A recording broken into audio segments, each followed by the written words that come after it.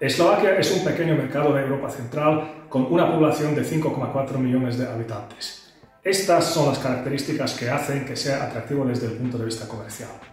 En los últimos cinco años previos al 2020, el crecimiento medio del PIB ha sido del 3,3%, lo cual posicionó a Eslovaquia entre los países con la tasa de crecimiento más alta dentro de la zona euro.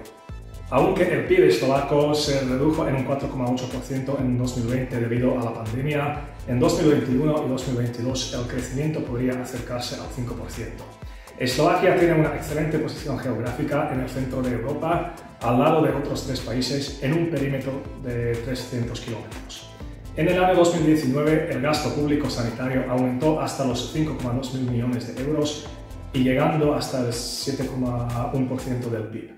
El país tiene buen acceso a la atención sanitaria. Hay 98 hospitales repartidos por todo el territorio con una edad media de 44 años y cuenta con casi 19.000 médicos, uno por cada 291 habitantes.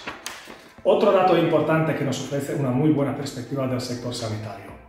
En junio de 2021, la Comisión Europea aprobó el Plan Nacional de Recuperación y Resiliencia, el mayor paquete de reformas e inversiones en la historia del país, por valor de 6.000 millones de euros. De estos, 1.163 millones están destinados a la sanidad. Actualmente hay planes de construcción de cuatro nuevos hospitales, de los cuales tres de ellos podrían financiarse con este plan.